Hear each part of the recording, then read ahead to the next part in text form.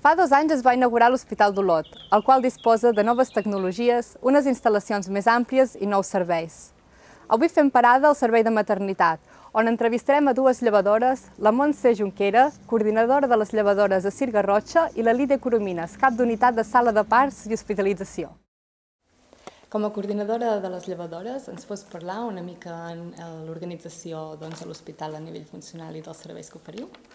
A nivell de primària, que la primària és tot el seguiment d'embaràs, tota l'atenció a la dona, des de...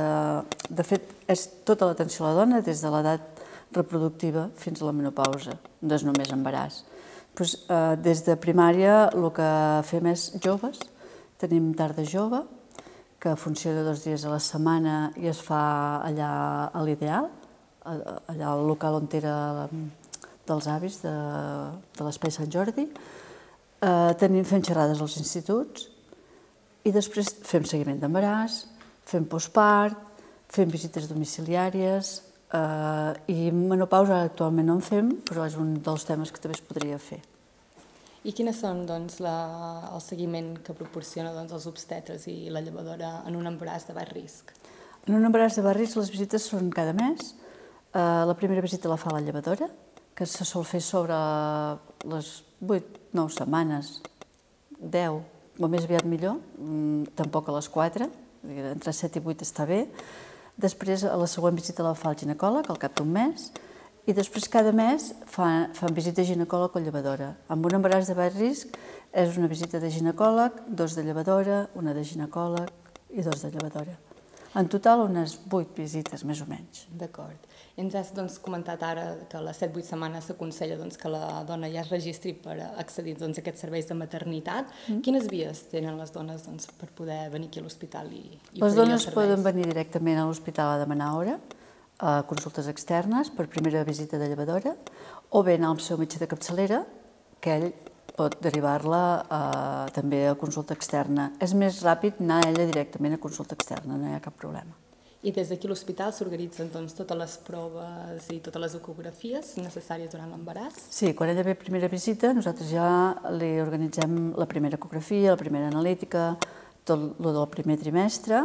Després, quan va al ginecòleg, ell organitza el del segon, la segona ecografia, la segona analítica. Cada professional, quan la veu, té, a cada visita hi ha unes tasques a fer i després es van programant totes les proves i tots els anàlisis i tot, tot, tot el que s'ha de fer durant l'embaràs. I quin servei oferiu des d'aquí? Teniu doncs, eh, classes eh, prenatals, postnatals? Eh, quines són doncs, aquestes competències de llevadora? Des d'aquí a l'hospital oferim classes prenatals, que són n'hi ha al matí i n'hi ha a la tarda, eh, exercicis de, a la piscina, que a l'hivern ho fem a la piscina de les Tries, a la municipal, a les Tries, i a l'estiu ho fem a la municipal vull dir que està cobert tot l'any, que els agrada molt. Vull dir, és un, un exercici a l'aigua que, que afavoreix molt, no? perquè estan més còmodes, no pesen, els agrada moltíssim. I després fem, després del part, hi ha les, les classes postpart. Hi ha postpart i alletament, suport a l'alletament, que és tot un, és una llevadora que ho porta tot i fan una part de classe és més com de consells postpart i l'altra part és més d'alletament. De, però tant pot anar-hi la dona que fa lletament matern com el lletament artificial, no hi ha problema. Per tant, doncs, aquests serveis serien oberts doncs, a, a totes les dones? A tota la població. Molt bé. I es fan visites eh, per poder accedir doncs, a sala de parts eh, quan les dones estiguin embarassades i familiaritzar-se una mica amb la infraestructura? Sí, un cop al mes eh, tenim organitzades unes visites a sala de parts que aquell dia només es fa visita a sala de parts. S'hi poden apuntar dones d'aquí a la Garrotxa i de fora de la Garrotxa, perquè venen moltes dones a tenir el seu bebè aquí, a l'hospital, que no són d'aquí. Després hem obert un dia al mes una visita ja per tothom i s'apunten al punt d'informació o, o venen... La trobada és punt d'informació. Després es, es troben a, els, els dimarts a les 6 de la tarda el dies que tenim pactats, que cada llevadora al seu consultori ja té la llista i ja pot informar la dona, i si truquen per telèfon també es pot informar sense cap problema, i després es fa una visita d'un parell, un, una hora i mitja, dues hores, i es veu tot sala de parts, ensenyem l'unitat 4, que és on estaran ingressades, si es pot una habitació, la nurseria, o sigui, fem una visita una mica per ubicar-los a, a l'hospital, no? a les instal·lacions. Ens has citat doncs, sobre l'alletament matern.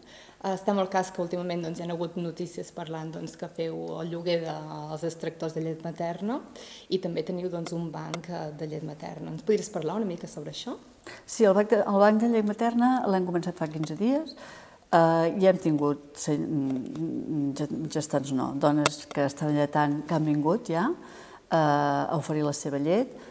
Uh, ara tornem a tenir aquesta setmana una altra consulta oberta i ja torna a estar plena, vull dir que en principi ha estat una cosa exitosa i és una manera altruista de donar llet per nens que la necessiten, com són els grans prematurs, nens que els han operat, que són bebès recient operats que no poden, no poden xupar i els donen llet materna per sonda o, o que tenen algun problema específic. I elles només venen aquí, fan una visita amb la, la representant del banc de sang, que és la que ho porta, i una llevadora, que estan, fan la visita conjunta, li fan un, unes preguntes, un, un anàlisi de sang, els hi donen un kit amb un tirallets i uns pots per guardar la llet, i després hi ha un servei de recollida doncs, que, ha, que, que els diuen que vindrem tal dia o passarem un cop al mes i després elles no s'han de preocupar, elles treuen la llet, la congelen, la guarden i de tant en tant els hi van a recollir. I tampoc s'han de preocupar per la quantitat que en treuen. O sigui, si elles els en sobren, no en guarden, si aquell dia no n'ha sobrat, no en guarden, no passa res. És, un, és gratuït, és altruista, és un servei molt bo, jo crec que és molt positiu. Molt bé, i això formaria part doncs, d'una doncs, de les millores que heu impulsat des de que us heu mogut doncs, a l'Hospital Nou de Quiolot. Sí, va ser una mica impulsada per les dones, perquè sempre l'impuls primer ens el donen les dones per les demandes que fan, perquè elles ho demanaven i després ho vam intentar lligar i no va ser gens difícil, no? Igual que el de lloguer d'extractors, que les dones també demanaven, perquè no hi havia cap lloc que lloguessin extractors, i a vegades el volen per una setmana o per un mes i no se'l compraran un d'elèctric i ara també fa cosa de 15 dies o un mes que hem començat a llogar extractors i també és un servei que també ja funciona, ja en tenim llogats dos o tres, vull dir que bé, molt bé. Molt bé, Montse, per finalitzar ens podries parlar una mica doncs, del que voleu implementar en un futur pròxim sobre el registre dels nadons eh, directament des de l'hospital? Uh, això sembla que hauria d'estar implantat, però de moment anem una mica més lents.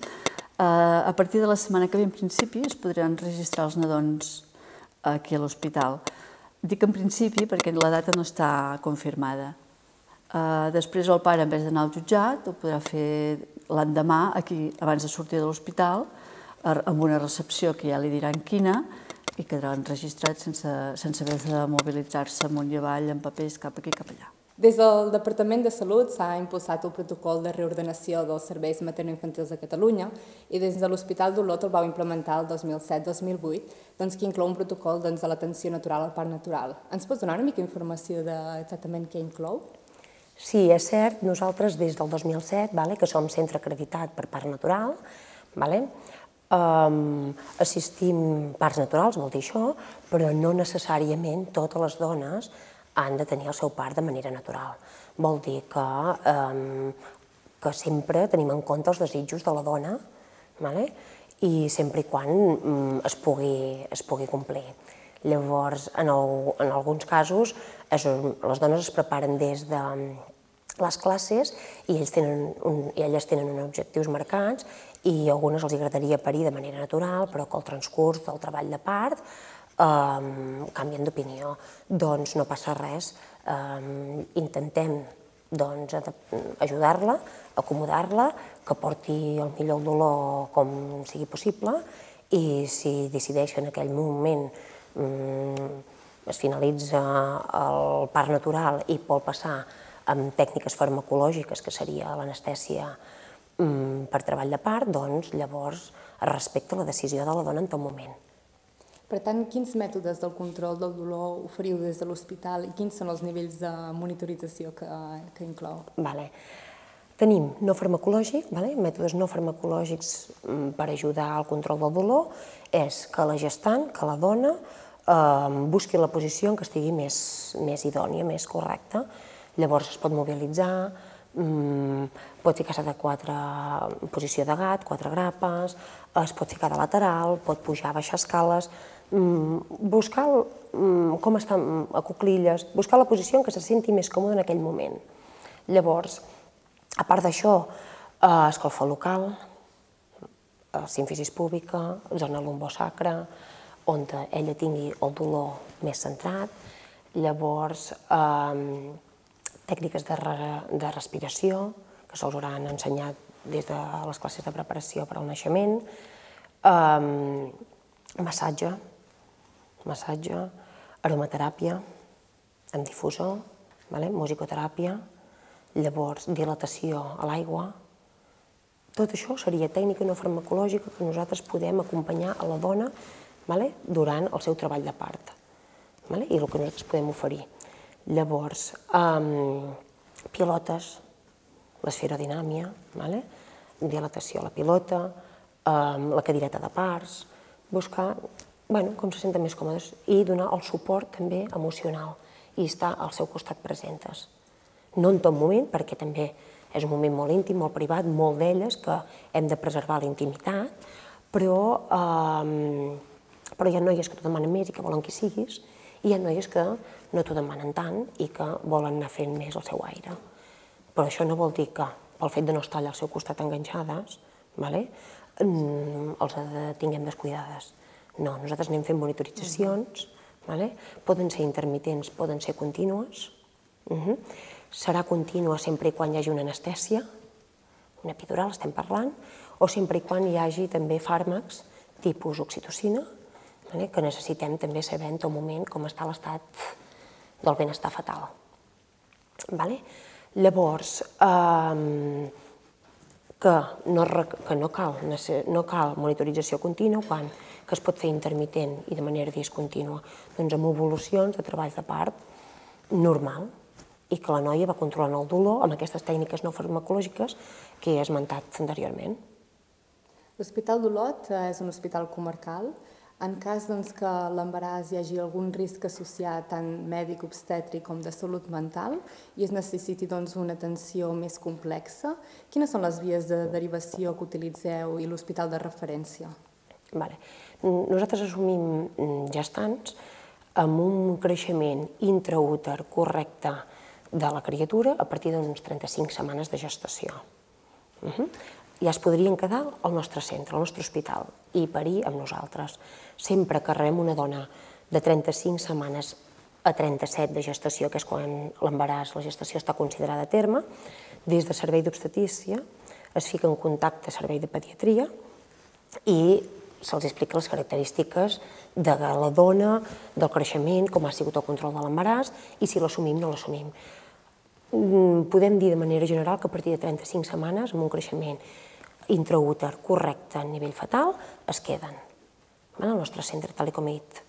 Um, molt alt risc obstètric o que necessitéssim um, derivar aquesta dona, se n'aniria a l'Hospital Dr. Josep Trueta de Girona, que és el nostre de referència. Això pel que fa a la gestant de molt alt risc obstètric. Pel que fa al neonat, um, en el moment del naixement, si necessités unes cures intensives, vale? nosaltres estabilitzem el nadó i llavors, a partir d'aquí, ens ficaríem en contacte amb el SEM pediàtric, que és el que després gestiona la derivació, que sol ser en principi, intentem Hospital Doctor Josep Trueta també, per proximitat, però en alguns casos eh, el Trueta no hi ha lloc, estan plens i ens deriven aquests recent nascuts a algun altre centre de Barcelona. Molt bé. I quins, uh, quines millores hi ha hagut doncs, en el servei de maternitat des que us heu instal·lat a l'Hospital Nou? Vale. Nosaltres, um, millores, um, la veritat és que seguim treballant igual de bé, tot l'equip. Um, jo dic, el funcionament és el mateix que treballàvem a l'Hospital Sant Jaume, a l'antic hospital, amb avui dia com estem treballant a l'Hospital uh, d'Olot i Comarcal. Ens facilita vale? les instal·lacions ens faciliten que ens sigui més fàcil, perquè eh, venim d'un lloc molt petit, que no podia créixer perquè no tenia més espai, vale? i ara tenim una sala de parts molt ben adequada, eh, que disposem de tres sales de parts, una sala de reanimació neonatal, la que dèiem que estabilitzaríem el nadó abans de previ un trasllat, i tenim una sala d'exploració, que fem urgències obstètriques, urgències ginecològiques. Llavors, eh, el servei ha crescut. La demanda també ens ha crescut molt més. Eh, però també les instal·lacions ens permeten que nosaltres puguem treballar amb més facilitat i amb més comoditat i donar doncs, eh, tota aquesta oferta que ja oferíem a la dona abans, doncs, continuar donant-te-la aquí, però treballant amb més comoditat i més espai. Dins de les millores eh, volem incloure doncs, que el pare pugui ser present en cas de cesària programada. Eh, quan es posarà a pràctica? A la pràctica, la cesària acompanyada, vale? la cesària acompanyada per la parella o per la persona que la gestant desitgi, que entri dins quiròfan, es, podrà, es durà a terme doncs, mitjans de juliol, començarem, ja tenim el protocol aprovat, i a partir de mitjans de juliol les cesàries programades podran, que la, que la persona vulgui entrar i desitgi, podran entrar a quiròfan. Molt bé. I dins dels avantatges que, que inclou doncs, aquest nou servei, el pare quines funcions podria fer doncs, dins d'una àrea com és quiròfan? Podria potenciar, per exemple, el pell en pell? Um, ens, serà, ens serà molt útil al pare, és, ho venien demanant les dones del que aviam, quan els pares podrien entrar, llavors um, breument ja entraran, els que desitgin entrar-hi amb les cesàries acompanyades, i la veritat és que eh, la dona eh, se sentirà doncs, acompanyada per la seva parella, que és qui ha d'estar present en aquest moment del naixement del seu fill, i donant-li tot el suport emocional, moral, que fins ara estem fent les llevadores i que no deixarem de banda, però que ho farem conjuntament, i també tindran la parella que és qui volen tenir allà, doncs per començar eh, a iniciar el pell a pell des de que el nadó surt de l'úter, en contacte amb la mare, el pit i el pare estant-hi present i estaran tots tres des de quiròfan fins que surtin de quiròfan i seran traslladats a fer la reanimació a sala de parts. No es quedaran fent la reanimació tampoc a dintre quiròfan, sempre i quan el servei de sala de parts permeti que no tinguem un overbooking de dones parint eh, i que necessitéssim la sala per tenir-la ocupada amb dones a treball de part, es faria la reanimació també fora, amb nosaltres, a sala de parts. O sigui que entraran a quiròfan tots tres ah, entrant a quiròfan, perdoneu, la gestant amb, amb la parella i sortiran tots tres i ja serà una continuïtat. I també amb aquestes noves instal·lacions disposeu doncs, d'una doncs, banyera de dilatació que les dones poden utilitzar. Ens pot explicar una mica quina és la funció doncs, d'aquestes doncs, banyeres i quines són les, les condicions necessàries per poder-la utilitzar? A sala de parts, tal com he dit, hi ha tres sales. Uh -huh eh, tres sales destinades a treballs de part, siguin naturals, siguin amb, amb anestèsia. El que passa que, si són naturals, vale, tenim tots els requeriments necessaris per ajudar aquesta dona. Una a la banyera, per fer la fase de dilatació, que és la primera fase del treball de part, dilatant i com a mesura de confort a dintre l'aigua. Aquesta noia ha d'entrar a l'aigua amb unes condicions vale, del coll d'úter eh, concretes. No pot entrar a l'aigua a la primera contracció que tingui, perquè també després, si no, l'aigua ens podria frenar una miqueta el treball de part. Llavors, ha d'entrar en el moment oportú.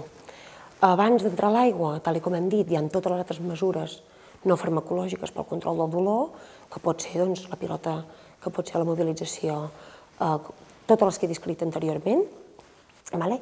per ajudar a que aquesta noia entri en un moment òptim a dintre la banyera, perquè quan la fase activa del treball de part està ben arrencada, llavors eh, aquest part no es frena. Llavors és una mesura de confort molt bona, que la tenim concretament aquesta banyera a la sala 3 i enfocada per a dilatar. A les altres sales, sala 1 és una sala preparada també per parts, siguin amb medicació o sense medicació, però que no tenim la banyera, la banyera en tenim una que la tenim ubicada en una sala. Llavors també eh, a la sala 2 tenim el Convitrac, que és la cadireta de parts, que tal com us demostrarem, doncs veureu totes les instal·lacions i com podem ajudar la dona. I ens podries parlar una mica de xifres, ara per anar acabant doncs, l'entrevista, una mica doncs, de quants naixements uh, facilita l'Hospital d'Olot? Sí. La, el 2015 vam tancar amb 426 parts al nostre hospital, l'Hospital d'Olot.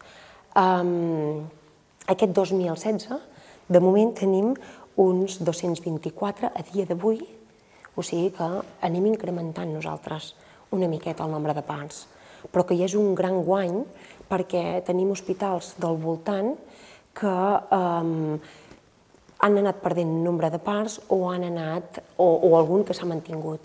Llavors això és un plus nostre perquè veiem que nosaltres estem amb tendència a l'alça. Llavors aquesta tendència a l'alça sembla ser que la gent ens ve a buscar perquè doncs, els ajudem i som centre acreditat per part natural, um, ara breument entraran els pares a les cesàries, estem bueno, ajudant a les dones a que puguin parir de la millor manera possible i la que desitgen elles, sempre i quan les condicions maternes i fatals ho permetin. En relació doncs, a aquests cuidats de qualitat que oferiu des de l'hospital, en termes d'alletament matern, eh, sabem que des de l'OMS i l'UNICEF recomanen l'alletament matern fins als sis mesos. Quines són les xifres que aconseguiu doncs, des de l'hospital? Um, des del servei de llevadores um, i des de, des de, concretament des de les classes de preparació al naixement, és on comencem a formar les dones doncs, amb la lactància. Um, nosaltres promocionem lactància materna, evidentment, per als beneficis que comporta a la mare i els beneficis que comporta amb el recent nascut, um, però les xifres, no, eh, veiem que a nivell d'Olot i comarca tenim unes xifres molt bones. Eh, jo et diria que superem les xifres de, de lo que recomana l'OMS i la UNICEF. La dona sol alletar molt en, el nostre, eh, en la nostra zona. Et diria jo 8-10 mesos, com a mitja, com a mitja, eh? perquè hi ha la que lleta eh, un any i un any i mig, i alguna dos, mm, no hi ha límit per dalt i tampoc hi ha límit per baix.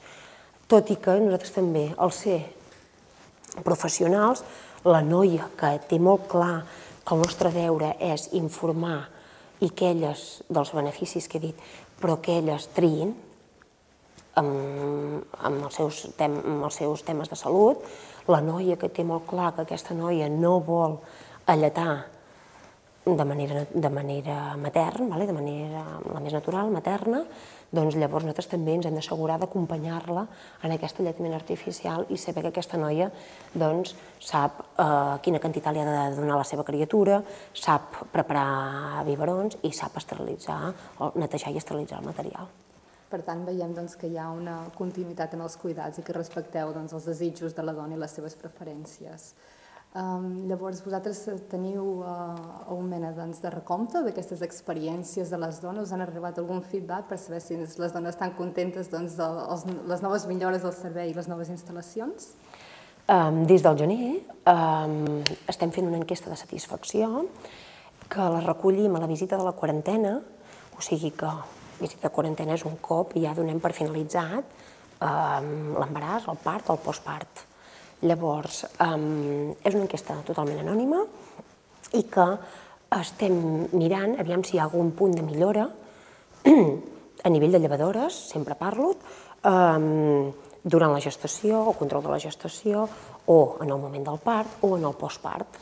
Um, les enquestes que tenim recollides des del gener fins a aquest primer mig any, fins a dia d'avui, um, de moment el feedback que estem rebent és molt i molt bo, molt i molt bo sí, sí, estem contentes de la feina que estem fent des de tot l'equip.